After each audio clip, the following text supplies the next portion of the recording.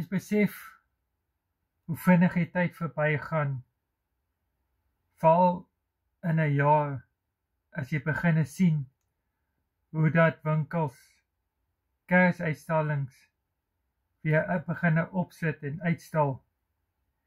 Dan besef jy hoe kosbaar tyd is en dit wat jy met tyd maak en hoe belangrik tyd vir jou is om daarmee te maak.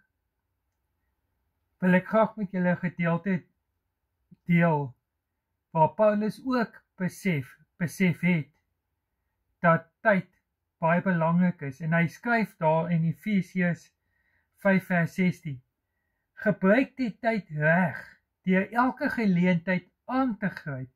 Koop dit uit met wysheid. Wees egter versigtig want dit is bose tye. Wees egter versigtig want dit is bose tye en ons sien hoe in die dae waar ons leef alles net erge bose raak.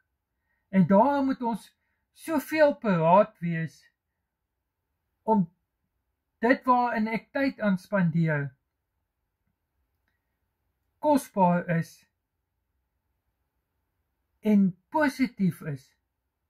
God gee vir ons die geleentheid om die tyd te gebruik tot eer van sy naam. En dit te doen deur ander aan ander goed te doen.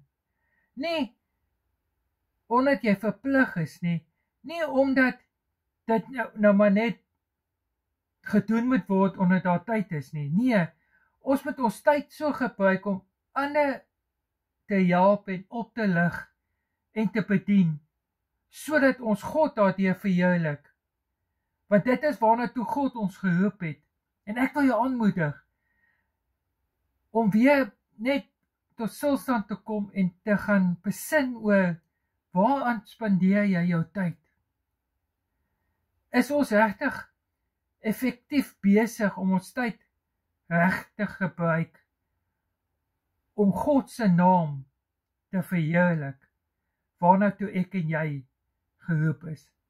God bless.